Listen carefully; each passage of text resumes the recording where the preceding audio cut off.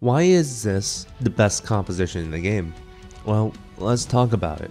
My aim for this video is to be a good developer feedback video. If you want to see gameplay, you can check out my other Mecha Break videos. Let me be clear, I don't want this to be a doomer post about monetization because it is all subject to change. It seems like the developers are actually looking closely at alpha feedback from testers to make changes for the future. With that in mind, I will be putting my little business major hat on. The major meat of this video is a dive on why shield bypass needs to be changed. Then I will compile other feedback points. My overall thesis for this video is that Mecha Break has some elements that prevents it from being cooperative play forward, and it needs to improve its systems to invite better team play for the successful longevity of the game. A main pain point for me in the gameplay was that shield bypass was incredibly strong. There are three types of shields in the game, fluid shields, complex shields, and range shields. Mecha Break's shield bypass mechanic is on 6 of the 9 available strikers. The two snipers have partial fluid shield bypass on their main sniper weapon. This means they can do small bits of damage on their attacks against a target that still has shields. Melee weapons such as the Panther slants bypass shields entirely, this makes melee weapons extremely deadly compared to other damage types that must damage shields first. To put it in RPG terms, melee is essentially true damage. Although they cannot bypass complex shields. Complex shields will block everything. Only the Falcon, Tricera, and Inferno do not have the ability to directly damage health. Those three rangers can often top the damage charts, but they have to chew through fluid shields first. This makes their damage less impactful, and thus the problem stage is set. Rangers are unable to interact with melee, and melee is unable to help rangers.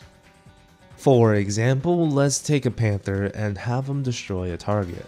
The Panther deals exclusively melee damage, and Alysnes can help the Panther burst the target harder with their own melee combo.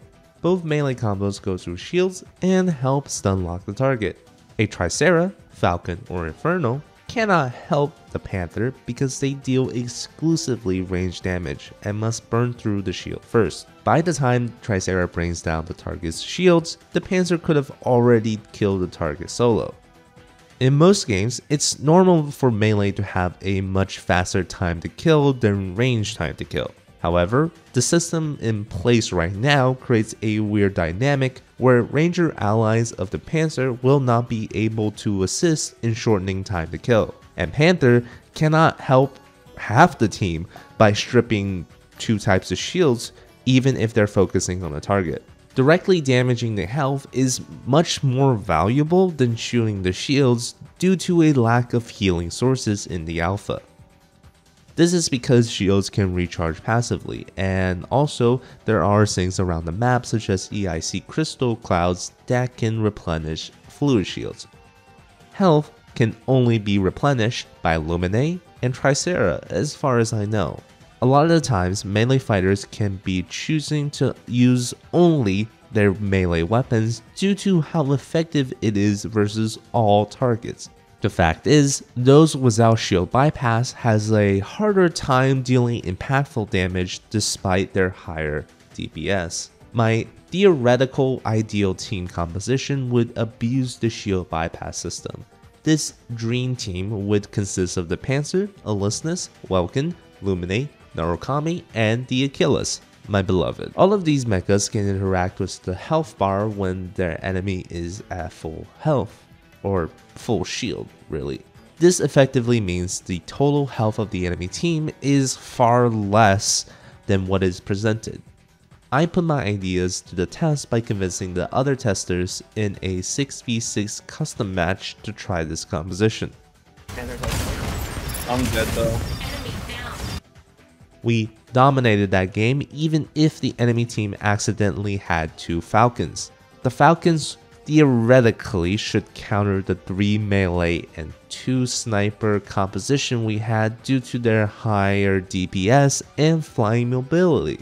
Yet our team simply had more impactful damage than the enemy team.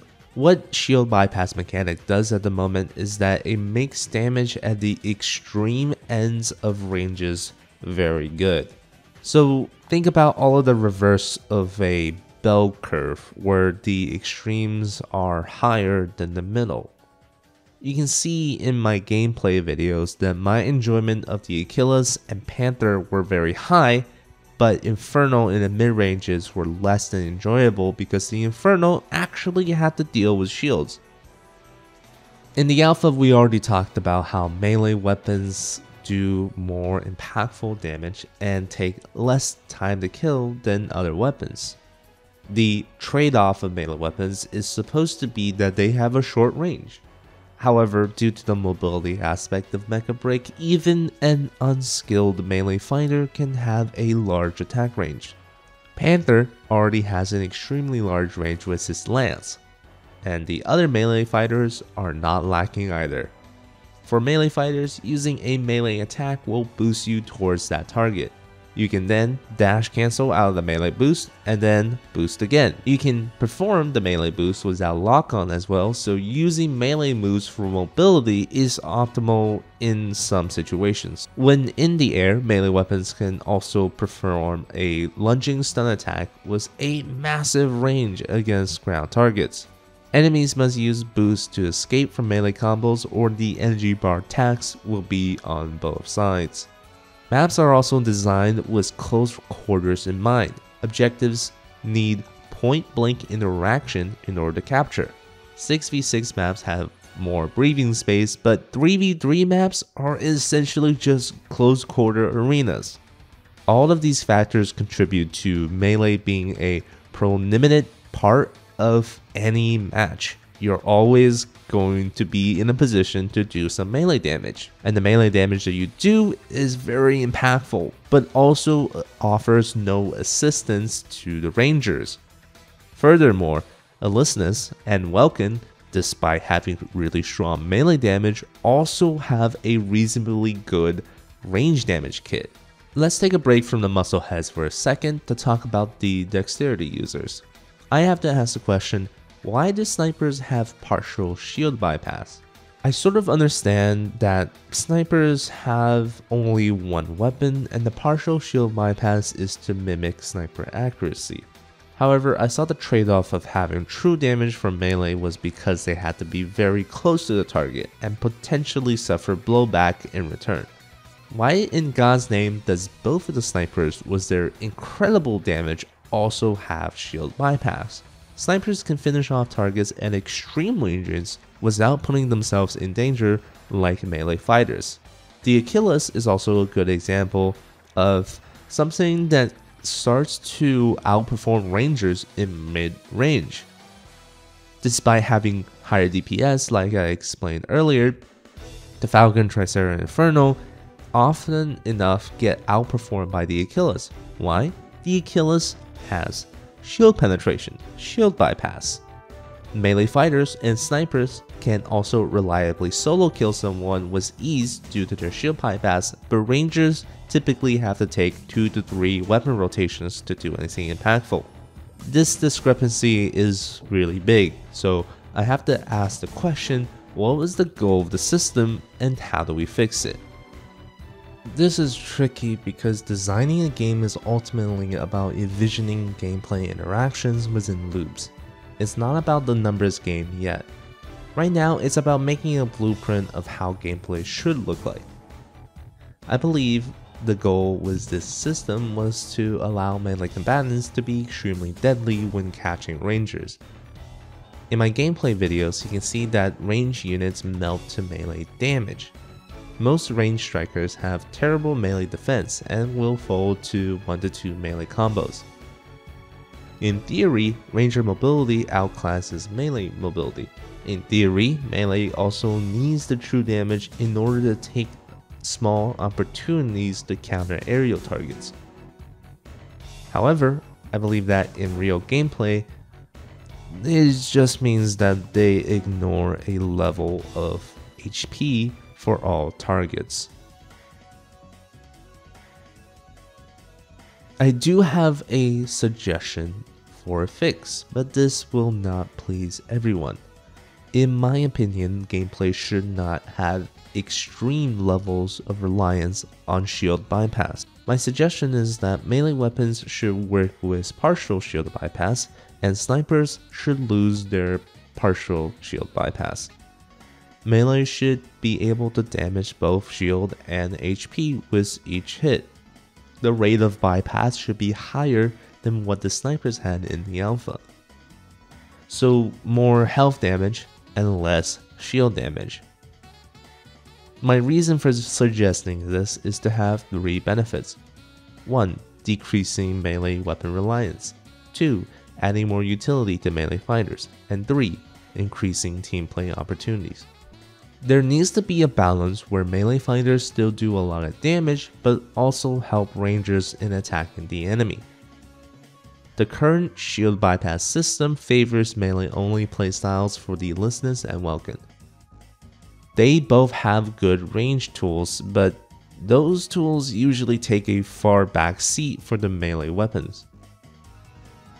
Using a partial shield bypass system, melee fighters will be forced to use their range tools in combination with their melee tools to secure kills. If they want full health damage, they'll have to strip shields first. This will allow team support play from rangers or the new snipers. With melee weapons actually interacting with shield health, Panther will be able to help rangers with shield damage going forward. Snipers without partial shield bypass would mean that their full damage should be focused on stripping shields for the rangers. Rangers obviously have more close to mid-range DPS, and thus by decreasing shield bypass availability, it will actually increase balance around the mid-range mechas rather than the extreme close range and the extreme long range. There is one striker that I haven't really talked about regarding shield bypass, and it is Luminae. In my opinion, she's fine being the one to be able to do true damage. Any mecha with low health should fear coming near her because once she has a lockup and the drones are on you, there is no escape. And I think that is fine for a healer type with low DPS in general. I think that it will be really nice for this support to have some sort of role in the game besides just healer botting everyone else in the roster. I understand that my suggestion would be changing a large significant part of the gameplay. It's not a perfect fix, so I do want counter arguments. And heck, I will introduce my own counter arguments for the sake of fairness. Melee combatants have to suffer lag time when performing strikes that leave them vulnerable to attack. One can argue that the lag time and energy meter required to dash attack enemies would put melee fighters at a disadvantage. However, the bypass damage would not support the idea that melee is anything but optimal. In fact, due to the low amount of mid-range crowd control in the game, melee is both a control tool and a damage tool. One can argue that if melee fighters do not have shield bypass, they'll be weak, and that is a point uh, I've thought about a lot.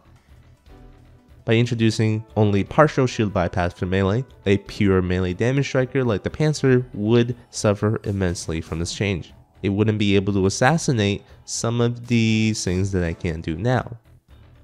For example, right now the Panther can full charge lance the Alysnes unarmored form, maybe with the changes that I had in mind, it wouldn't be able to do that anymore because it will still have to hit the shield. That is a problem that will need more numbers tweaking to fix. However, I think my suggestion covers a broader system and alleviates more pain points than it creates. I definitely seen support for buffing range weapon damage over nerfing melee, however the problem with that is power creep and numbers blow. We wouldn't want that in a game that hasn't even really released yet, and if you've ever seen League of Legends, you would know that power creep is a serious problem. Wrapping up my thoughts on the bypass system, I think that the less mechas have shield penetration, the better. From a longevity standpoint, it is very weird for 6 out of 9 strikers in the alpha to have some sort of shield bypass while the other 3 does not. It sets a bad precedence for future strikers that, you know, you either have shield bypass and be good, or don't have shield bypass and be uh, non competitive, let's just say. I'll be doing a simple SWOT analysis for the alpha here. The game's strengths are that its core gameplay is good, really good. The maps are varied, the controls are responsive, and there's nothing quite like this on the market at the moment due to the fall of Gundam Evolution and Armored Core 6's lackluster multiplayer aspect. The game has good presentation. The visuals are top notch so far with good lighting, effects, and textures. The designs feel familiar but new at the same time. I appreciate that they stayed with the fantasy of the bipedal mecha. It is impressive then how this alpha was only around 11 gigabytes of space. There are a lot of quality of life aspects that just make sense, such as a kill cam replay, MVP system, personalized end screens, and etc. Also, EIC is just Tiberium, and I love Command & Conquer lore, so I can't wait to see what they come up with for a story. I actually appreciate the fact that pilot characters in the game are, well, characters, or else it will be very soulless like Gundam Evolution. You too can make a custom waifu by going through a rather extensive character customization. Playing off of these frames is a must in order to position Mecha Break as the mecha multiplayer game on the market. The weakness of the alpha is that it suffers from a lack of playstyles. Other hero shooters will launch with more gameplay style variety. There's currently only one true support and one true tank on the roster. I feel that for a proper launch, you'll probably need to four more strikers on the roster to have a multiplayer scene capable of supporting multiple team compositions. The alpha also suffered from lackluster sound design. If you reference my Panther gameplay, the last multi-hit sound is very high-pitched and doesn't sound very good when rapidly repeated. Audio warning phrases are also too long and played too often. It's very distracting. Another weakness is the progression system. Without diving into it too much, since the developer still might change it, progression is slow and it feels unrewarding. A multiplayer game cannot take hours of progression just to be able to play with friends. The opportunities of the alpha are, well, tremendous. There's a really solid foundation here to build upon. Gameplay wise, more maps and mechas are a must. There are alternative ways to monetize besides locking playstyles. More often than not, players are willing to pay for new designs, decals, skins, and etc. The important thing here is learning from the mistakes of Gundam Evolution. Players that drop $100 and never come back after the first month are not as valuable as the player that spends $10 every week and play with their friends. A multiplayer game especially, well, it needs a lot of numbers it needs community. There's a lot of homeless mecha fans to draw on right now, However, keep in mind that these fans have been very disappointed recently and need a stable reassuring game to invest in. The threats of this game is of course any other multiplayer game with less investment required to have fun with friends. The live service models games are constantly competing with each other for attention. Big friend groups are always looking for new games to invest in, and Mecha Break has to compete with not only free to play games, multiplayer RPG games like Monster Hunter, but also other mecha games as well.